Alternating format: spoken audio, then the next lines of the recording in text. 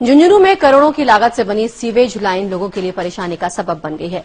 Sewage line बिछाने के नाम पर शहर की सड़कों को खोद दिया गया है, जिसकी वजह से लोगों को काफ़ी दिक्कतों का सामना करना पड़ रहा है। झुंझुनू शहर में 19 जून 2010 में सीवेज लाइन डालने का काम शुरू किया गया था। इसके लिए शहर के बाहर तकरीबन बानवे बीघा सरकारी ज़मीन भी अधिग्रहित कर ली गई। सरकार को करोड़ों रुपए खातेदारों को चुकता करने पड़े शहर के लोग भी बेहद खुश थे कि उनको अब गंदगी से निजात मिल जाएगी चार साल बीत गए, लेकिन समस्या का समाधान तो नहीं हुआ, उल्टे समस्याएँ बढ़ गईं। नगर पालिका सभापति ने मैं बहुत सुनहरा स्वप्न दिखाया था सीरीज़ के रूप में, जो कि तीन साल तक, अभी वो स्वप्न का स्वप्न ही है कहीं गड्ढे हैं तो कहीं सड़- टूटी हुई सड़कें हैं, रोज हादसे हैं।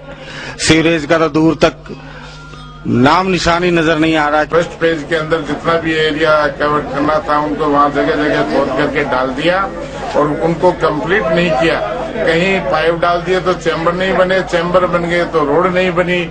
इस जगह जगह खड्डे करके डाल दिए और चैम्बर भी बने तो कहीं तो लेवल निकाल के कैसे नहीं बने मालूम नहीं, कहीं तो वो अब छह इंच नीचा जा रहा है चैम्बर तो वैसे गड्ढा बन गया कहीं एक फुट ऊपर जा रहा तो ऊँचा हो गया झुंझुनू नगर परिषद की माने तो जो कंपनी सीवेज लाइन डालने का काम कर रही है, उसे ब्लैक लिस्टेड करने के लिए वो तत्कालीन कांग्रेस सरकार को पत्र भी लिख चुके थे, लेकिन सरकार ने कंपनी पर जुर्माने के अलावा और कोई कार्रवाई नहीं की।